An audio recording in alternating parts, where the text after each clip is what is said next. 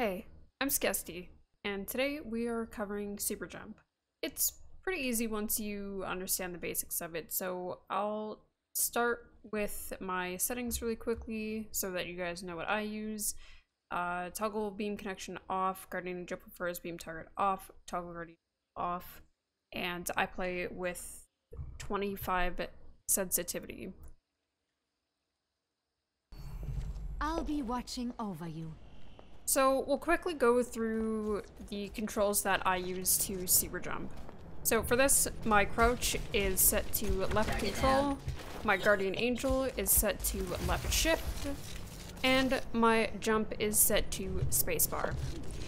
I know that a lot of people, if they're not comfortable with the control and left shift binds, that they will either use left alt to crouch and have shift on Guardian Angel, or they will have both Guardian Angel and shift on their mouse buttons if your mouse has enough buttons for that. So if shift and control don't work for you, you can always try those out. So to super jump, press GA and crouch at the same time. And I can't stress this enough. It has to be at the same time. Like that, right?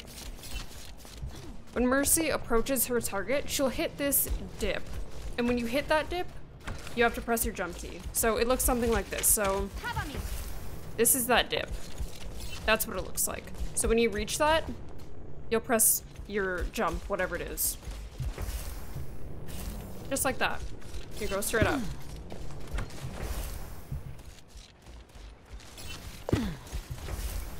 And remember, press Guardian Angel and Crouch at the same time. If you do one and then the other, it won't work. It'll look something like this.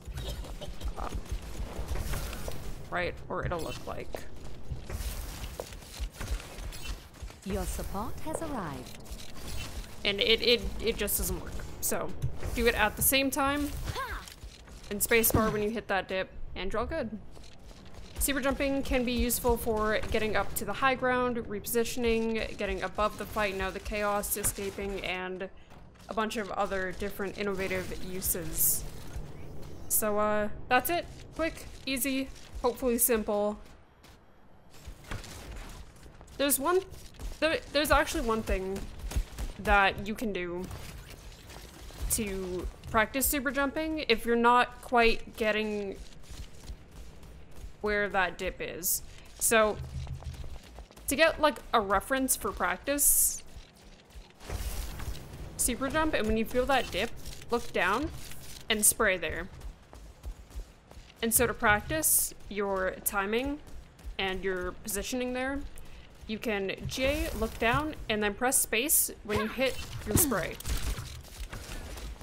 So, J, like that. Space when you hit your spray.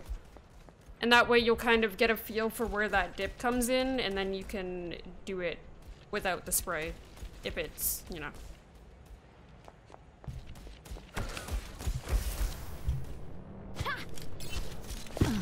So, that's it. Good luck, and happy super jumping. Bye.